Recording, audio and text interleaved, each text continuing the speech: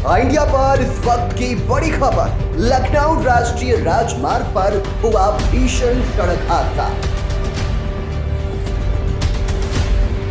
इकोवैन में अज्ञात वाहन ने मारी टक्कर, इकोवैन सवार दो लोगों की घटना स्थल पर हुई मौत।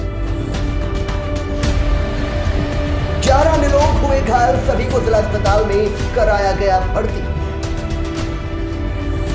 कमलापुर थाना इलाके की ककैया पारा गाँव के समीप हुआ हादसा।